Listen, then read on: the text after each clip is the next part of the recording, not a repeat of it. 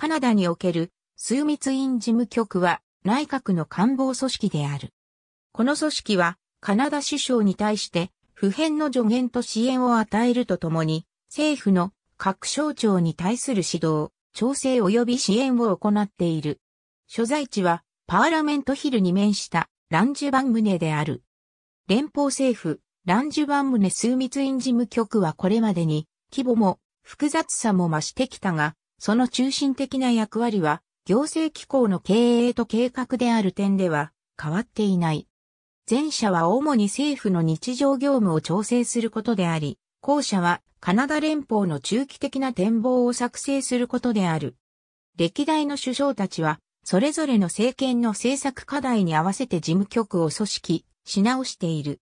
現在、枢密院事務局は、省庁間の問題、広報、外交、防衛政策、治安と情報収集、社会問題、経済問題、立法と議会対応、政権交代に関する業務を取り扱っている。伝統的に枢密院事務局は、行政部門の官僚たちにとっていわば、花嫁修行を行う場であった。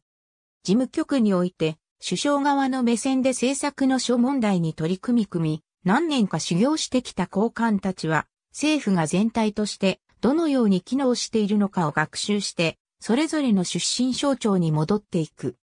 ここの卒業生の中には、官僚機構内での地位だけでなく、経済界や政界などでの成功を追い求める者もいた。例えば、ボンバルディアのポール・テリエ元 CEO、ベルカナダのマイケル・サビア、元 CEO、カナダ放送協会のロバート・ラビノビッチ会長、ピエール・トルドー元首相、ピエール・ペティグリ元外相などである。枢密院事務局の長は、枢密院書記官長であり、これは内閣書記官であるとともに、首相に対する次官でもある。枢密院事務局と首相府とは別の組織である。首相府は首相の個人的で党派的な組織である。首相はたった一つの特定の立場からの未助言を受け取るべきではないと考えられている。